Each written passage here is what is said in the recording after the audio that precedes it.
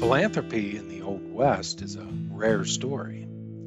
A place founded in Get Rich Quick ended in the last great gold strike at Cripple Creek. It was there Winfield Scott Stratton became an overnight millionaire.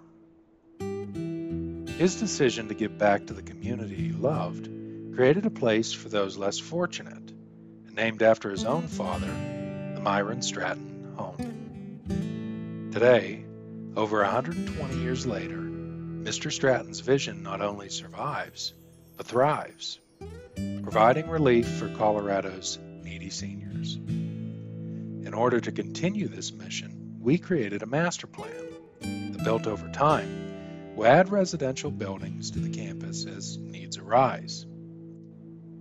The buildings themselves are born of their context, looking at the original buildings, creating a modern language from their components, one honoring the past while expressing the future.